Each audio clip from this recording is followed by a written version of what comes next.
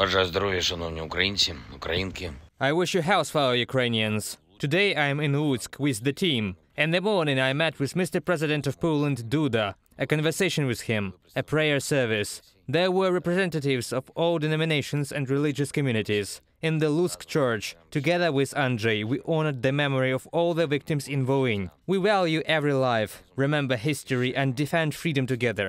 Here in Lutsk, in Lubart's castle, I held a long meeting today on the situation in the region, security, the situation on the border, the situation in the border areas of neighboring Belarus. The priority is to reinforce each region, our entire northern border. There were reports from the military, law enforcers, and local authorities. We analyzed the training and supply of our defense and security forces and relevant units in Volyn. There was a report on the social situation in the region, the needs of people, energy, water supply, budgetary support, both for people and for the social sphere, the state of the shelters, jobs in the region. The state supports and will continue to support as much as possible. And I'm grateful to everyone here in Lutsk, to everyone in other cities and communities of the region where IDPs have been accommodated, where people help in the treatment and rehabilitation of our warriors. Thank you.